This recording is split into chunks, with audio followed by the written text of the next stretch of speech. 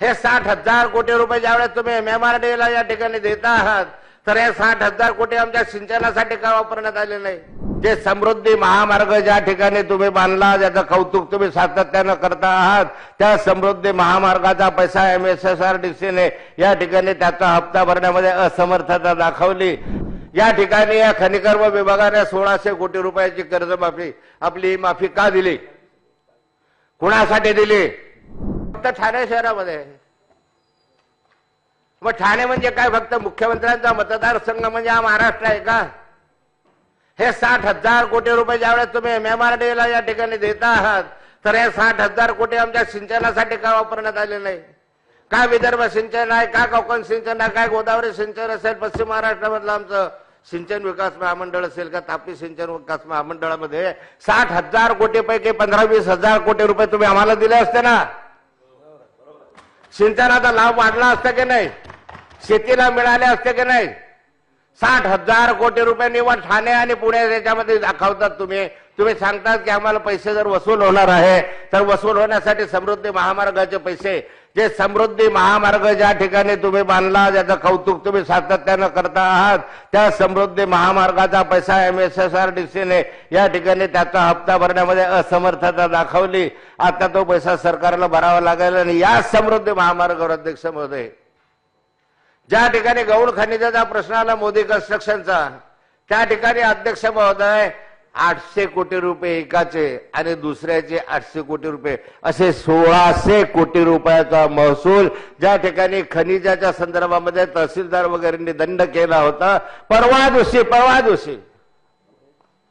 मंत्रिमंडळाच्या बैठकीमध्ये तुम्ही तो माफ केला. माझा आठशे कोटी रुपये एका क्षणात तुम्ही त्यांच्या मोदी कन्स्ट्रक्शनचे माफ करून टाकले.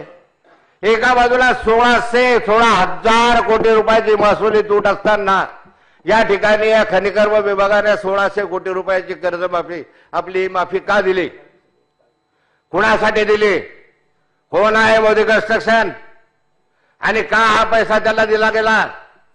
अध्यक्ष महोदय हाच पैसा जर समृद्धी महामार्गाच्या कर्जफेडीसाठी वापरला गेला असता तर आज आमच्या डोक्यावरचं कर्ज कमी झालं असतं. तहसीलदाराने सांगितलंय कर्ज आपल्याला तुम्हाला सूट देता येणार नाही. न्यायालयापर्यंत ही केस गेली न्यायालयाने सांगितलं हा पैसा भरावा लागणार आहे. मग न्यायालयाने आदेश दिले पैसा भरावा लागणार आहे. मग दुसरा मार्ग काय? तर मंत्रिमंडळाकडे जा आणि माफ करून घ्या. मंत्रिमंडळाकडे आले तुम्ही. एका विशिष्ट व्यक्तीसाठी. मंत्रिमंडळाकडे आले. चारशे कोटी रुपयाचा जीएसटी आहे. त्या खनिजाच्या ज्याच्यावर ज्याचा दंडा सहित केलेला आहे त्याच्यावर चारशे कोटी रुपयाचा जीएसटी आहे. तुम्ही माफ करणार आहात का? मग हे काय उद्योग चालले एका बाजूला ठाण्याच्या विकासासाठी एवढा पैसा वापरायचा दुसऱ्या बाजूला समृद्धी महामार्गासाठी असलेला हा पैसा जो आहे तो तुम्ही माफ करून टाकायचा. मला उत्तर पाहिजे या सभागृहामध्ये.